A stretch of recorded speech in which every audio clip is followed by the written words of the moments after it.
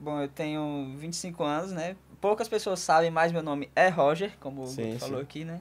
É, e não, não, não fui de igreja sempre, eu comecei... Ah, o seu nome não é humor católico. Não, Caramba, Não, inclusive eu achei que fosse que dizer, meu nome não é Roger, É. na verdade. Entendi agora. Mas, Ok. vai- mas vai lá, meu nome é Roger. é né? Roger, Uhum. né? É. Até que eu mude, tô pensando em mudar pra amor católico já pra Não, patentear a marca, né? sobrenome católico.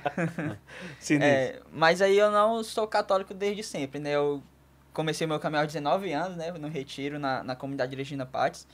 E aí fui pra esse retiro de forma despretensiosa, foi porque meus amigos foram, né? E tipo, ah, a galera vai, eu vou também me divertir lá. Aí não senti nada nesse retiro, só que aí fui num grupo de jovens, né? No, no sábado seguinte, lá na comunidade. E aí fiquei lá até hoje, né? Comecei a, a aprender mais sobre a fé, né? Comecei a, a estudar mais sobre a igreja, né? É, não era nem nem tinha a primeira comunhão, nem era crismado. E depois de uns anos eu descobri que nem batizado eu era. Caramba. Porque A gente vai descobrindo cada coisa. exa- eu fui batizado na igreja Por isso essa cató- confirmação do nome dele. Ele foi É. bem firme. Meu nome é, É. Roger, né? Eu fui batizado na igreja católica brasileira. Ah, E aí eu fui descobrir Quase, isso. né? é, quase. por, por uns quilômetros de Mas, distância. caramba, né? Eu fui igreja- descobrir isso depois que. Na, na semana que eu ia me crismar, uma semana Sim. antes, né? É, e aí eu descobri isso. E aí eu tive que me batizar uma semana antes. Aí fiz a primeira comunhão e depois me crismei.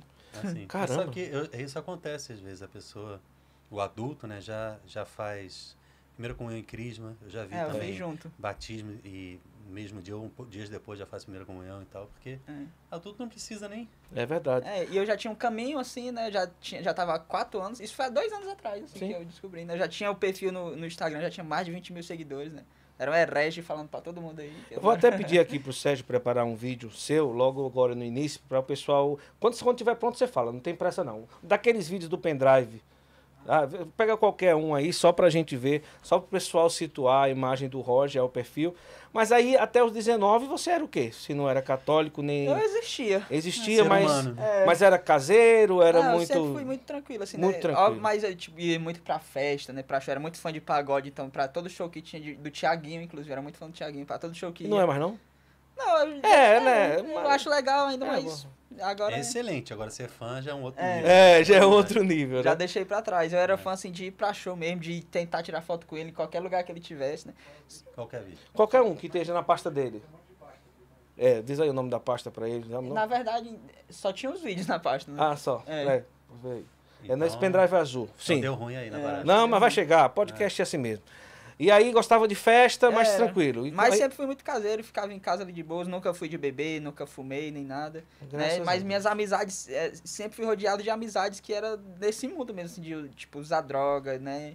Sim. Essa galera toda, mas nunca é, é, me entrosei tanto, assim, era amigo, mas separava os momentos ali, né? E aí depois tive esse encontro né, na comunidade, aí foi que eu comecei a, a Que caminhar. legal. A minha vida católica toda foi em comunidade, assim, né? Participando dos grupos, dos retiros.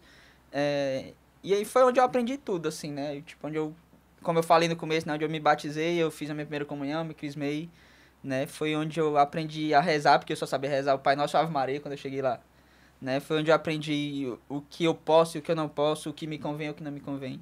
Né? E depois do Instagram eu comecei a estudar por fora, né? E eu ganhei, algum, um seguidor me deu um catecismo, eu comecei a estudar e tal. Pra também ajudar as pessoas, né? Porque assim, o meu, meu público é bem a galera que tá chegando, né? É tipo uma porta de entrada, É verdade. né? Então a galera que, que começa como eu comecei, né? Uhum. Mas assim, é, eu tô sempre me esforçando pra agradar a Deus, né? Nem sempre eu consigo, que sou falho, mas tô sempre buscando.